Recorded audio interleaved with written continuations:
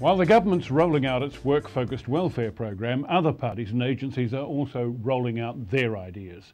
An experts advisory group to the Commissioner for Children has produced a discussion paper suggesting options that include a universal child payment up to the age of five to combat the impact of poverty on children.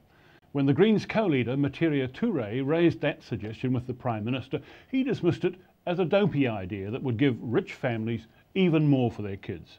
But Ms Turei already has another approach that's due for debate in Parliament next month. Selwyn Manning's been talking to the Greens co-leader about the government's program and the Green alternatives.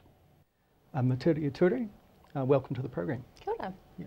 Uh, Social Development Minister Paula Bennett has rolled out the National-led government's uh, social welfare reform. Mm. What's your take on that reform?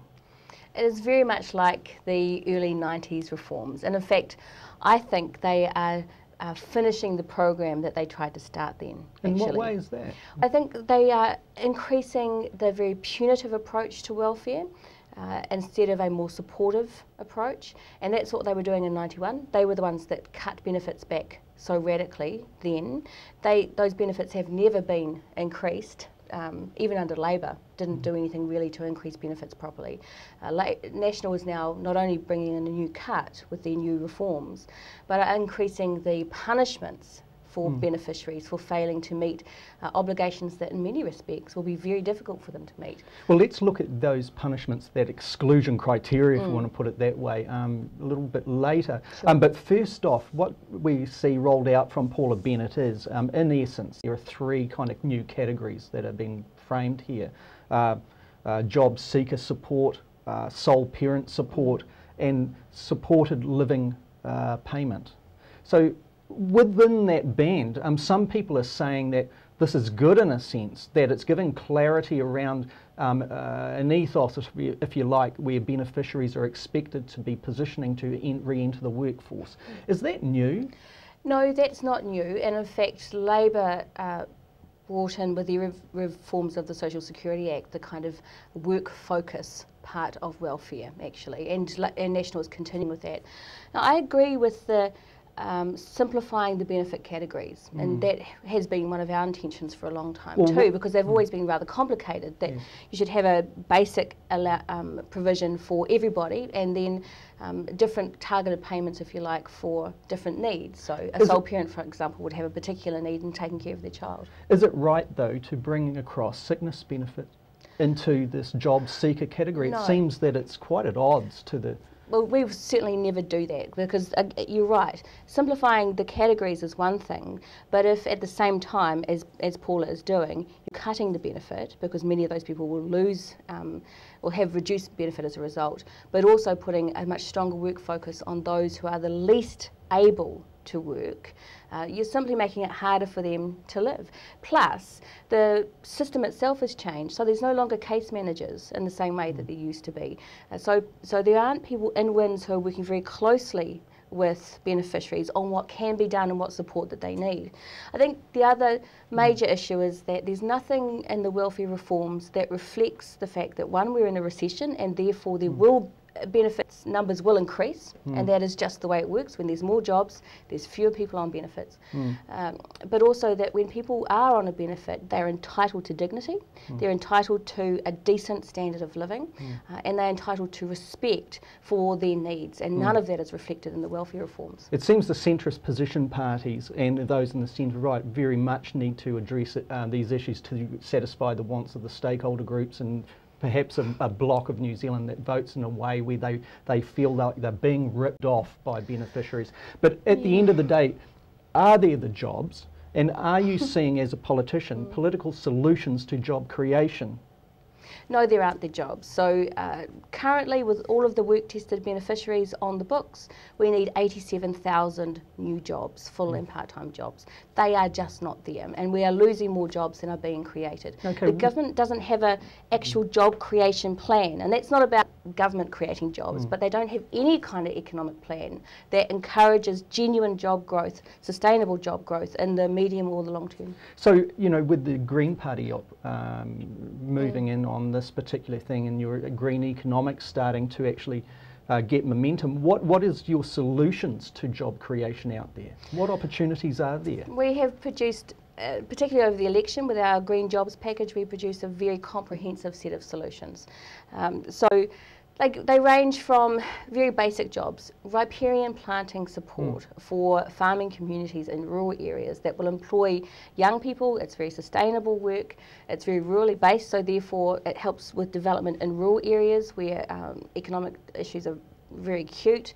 Uh, we can provide support to the farming community as well, so they actually get the benefit of um, an integrated approach between government, local councils and the farmers, all so helping with employment opportunities. So there's that kind of level so of would, job. Would, would that draw people in the low skilled areas? Well, yes, it is. It's a, it's a fairly low skilled mm. job, but it also, so and young people too who are, you know, trying yeah. to develop those skills. Would that, would that come at a cost to central government? The taxpayer yes. funds would so how, how would it return that uh, that that mm. cost back by way of investment? Well, by way of, it depends on what you mean by investment. You know, do we believe we should be investing in people so that they are developing skills, so that we are protecting our environment, our environment is better able to cope with the economic demands we keep placing on it. We think yes, you can invest in, the, in people, you can invest in the environment, and you do get a net benefit out of it in various different ways. So the farming community, for example, was very keen on uh, mechanisms to help them clean up their waterways because they know that there is enormous economic advantage to them to do that. If government and local councils and farming communities can work together, then we can provide the solution. But it's not just about um, that kind of skilled jobs as well. We talked a great deal about how we could use the state-owned energy assets mm. to help um, develop sustainable, new sustainable businesses, very high tech mm. sustainable businesses that also produce things, so there was some manufacturing attached to it. Mm. But we're very much creative industries um, where we, we could get significant job growth over time, mm. um, particularly because there's this huge international interest and boom mm. in sustainable energy development. So your, your critics would be saying, okay, does this come at the cost of increased taxes or a, an adjustment in priorities? It's an adjustment in priorities. Okay, thanks. So we've that. always said that governments choose where they put their money. Uh, they, you know, this government is making very poor choices.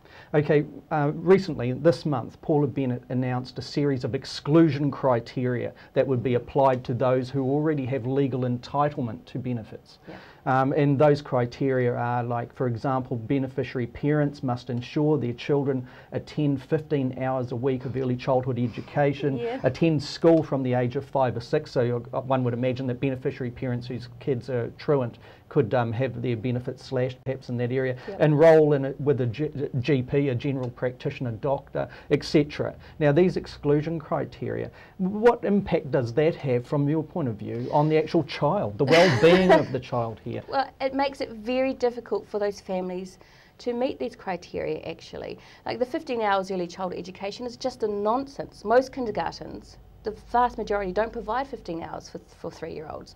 Uh, so Paula has said that people will be able to get exceptions mm. and so won't have to this, to the exclusion. exclusion. But yeah. how will they know that? Then, mm. uh, you know, will they get that information? Will they actually get these so-called exceptions or will they just feel like they're under even more pressure and therefore step away from the system even more? If you want people to enrol with a GP or get access to healthcare, it has to be accessible to those people. It has to be responsive. It has to be local.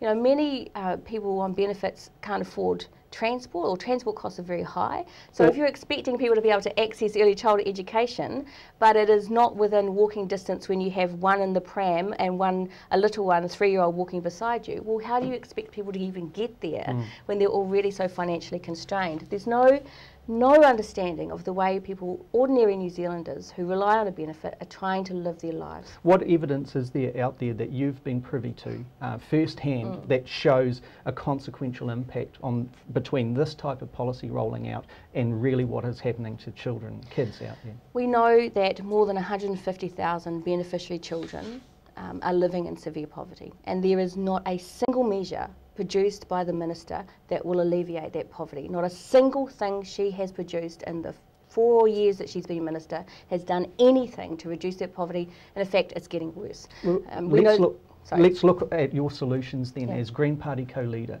Um, what would you do to address this now mm. or after the next election?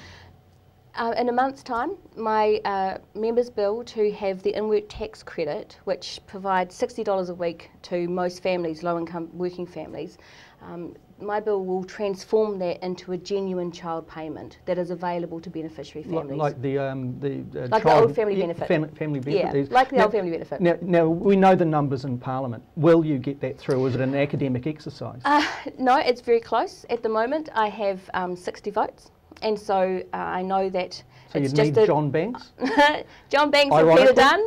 John Banks or Peter Both Dunne. or one? Just one of them. So Peter Dunne would be the one you'd be going. Peter Dunne is the is is the one who's most reasonable, um, and he does need to make a decision about what he's going to do. He said he hasn't decided yet, or at least he hasn't advised me of his so, decision. So people should watch for a month for that and to see what is coming yeah. out. And the other thing is um, post 2014, um, clearly uh, the Labour Party and the Green Party seem to be showing a red green kind of Mm-hmm. arrangement, if you like, both economically and the dynamic in the House and the opposition bloc.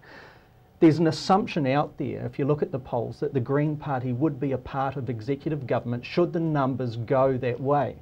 Is that a reality, that assumption? Would the Green Party, are you kind of guys wanting to be in government or would you prefer being in a, in a situation where you lobby from the outside the executive? We want government. You Absolutely. want government? Absolutely. Do your members support that Yes, wholeheartedly? Yes, and I think that we have been planning for it for a long time. We have never had the opportunity to be in government.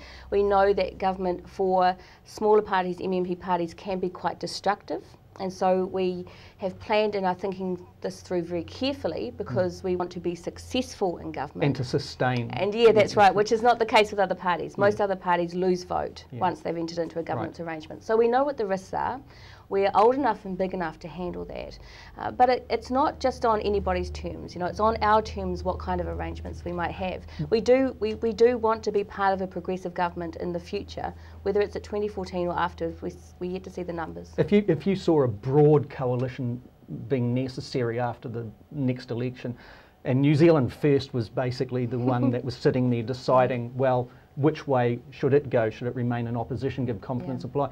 Would, would, if, it, if Winston Peters, for example, wanted another go at executive government, would the Green Party actually embrace that to get over the line? Uh, I mean, we, we haven't excluded a relationship with New Zealand First in a governance environment, but we're very far away from how that might look at this stage. Um, they did go out of Parliament for a period of time. They're back in on fairly comparatively fragile numbers, so we really it's really hard to tell what might happen. But our, our focus is very much on what would we do, uh, how will we prepare ourselves And for that that role. be? Well, with respect to no. child poverty. Oh, absolutely. So um, we we need to have child poverty reduction measures in legislation. We need to deal with income issues both for beneficiaries but also for the working poor. So that's increasing the minimum so wage. So working for families, eh, lowering the tier down. Well, well, you, there's different ways of doing it. One of them is a child payment or a, a universal child payment that's been suggested by the Children's Commissioner is quite a good plan for zero to sixes and then targeted thereafter. They have some very good solutions for child poverty that we would want to embed in our policy as well. Um, but there's other things like the $10,000 tax-free band for um, for New Zealanders, which would have a bigger increase for those on lower incomes. There's lots of different kinds of solutions. They need to be negotiated, of course, with any other party, and we need to work those through with the public as well.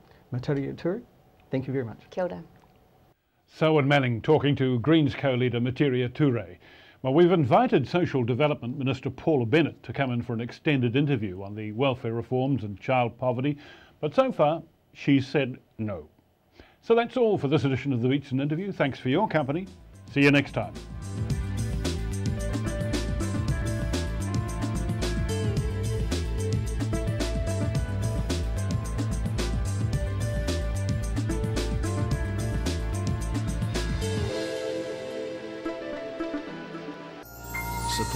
Local content so you can see more of New Zealand on air.